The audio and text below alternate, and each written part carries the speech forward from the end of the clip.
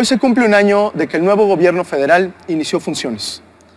Hoy también se cumple un año del compromiso que en Movimiento Ciudadano hicimos con las y los mexicanos de mantener nuestra convicción de servir a México por encima de cualquier proyecto de carácter político.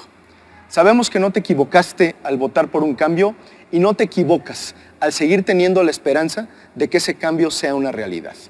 Pero a un año los resultados no son lo que esperábamos. Porque México eligió un cambio en la estrategia de seguridad para construir la paz y recuperar la tranquilidad. México eligió verdad y justicia para las víctimas.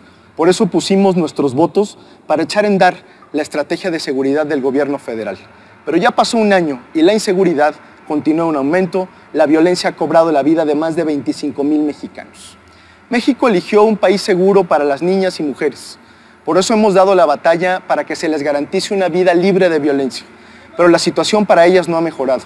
Nueve mujeres son asesinadas todos los días y hoy México es, de toda América Latina, el país más violento para las mujeres. A pesar de esto, sus legítimas exigencias siguen sin ser escuchadas.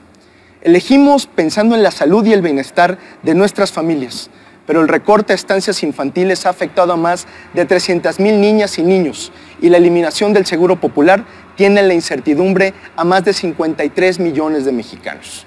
Como tú, creemos que proteger el medio ambiente es proteger el futuro de México. Por eso logramos que se declarara la emergencia climática en todo el país, pero el presupuesto propuesto por el gobierno federal para el próximo año lo ignora por completo. Hemos propuesto transitar a energías limpias y conservar nuestra riqueza natural, pero el gobierno federal decidió seguir apostando energías del pasado que contaminan la tierra, el agua y el aire de todas y de todos, y que además tienen un altísimo costo al erario público. Se han destinado 41 mil millones de pesos a la construcción de la refinería de Dos Bocas. Tan solo en 2019 se compraron 5 millones de toneladas de carbón y para el próximo año el fracking tendrá una inversión de 10 mil millones de pesos. Por si fuera poco, se continúa devastando las selvas, los bosques y los manglares. No queremos que muera la esperanza.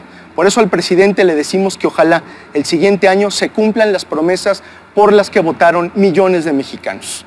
Por nuestra parte reiteramos que Movimiento Ciudadano sigue firme en sus convicciones de servir a México.